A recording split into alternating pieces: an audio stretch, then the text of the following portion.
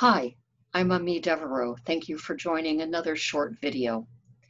When I first started to need reading glasses, I know you've seen me take them off when I start recording, I was momentarily a little bit upset, but then I went out and I bought a couple of pairs of reading glasses so I'd have one in my purse and one in my house.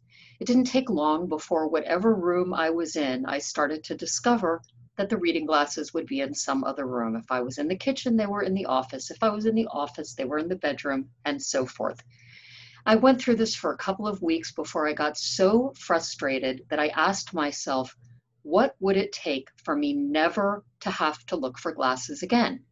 And then the answer seemed perfectly obvious. And I went out and I bought 10 pairs of glasses. So now in my house, my car, my gym bag, anywhere I am, there's a pair of reading glasses and I don't have to go hunting for them.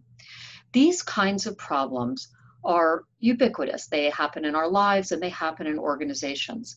But our method for problem solving is usually to solve the problem at the moment it occurs when we experience it. And that leaves lots of repetitive problems that really have their source at a different level than we're solving it. So the glasses could be solved by going and finding what room I left them in, or I could figure out how I could solve the overall problem and never have to look for glasses. We see this even in the public sector. We have schools with wide disparities of performance, really great schools with lots of students who go to university, and lots of poor schools where lots of students drop out we tend to try to solve for each individually poorly performing school. And we send money or we add teachers or we do training or we do more testing. But solving it that way is never going to solve the overarching problem of wide disparities between public schools. You have to take a step back, notice that it's a problem, and then solve for the system problem. In organizations, oftentimes those repetitive problems don't have anybody to own them and solve them. So they tend to get solved at the end point.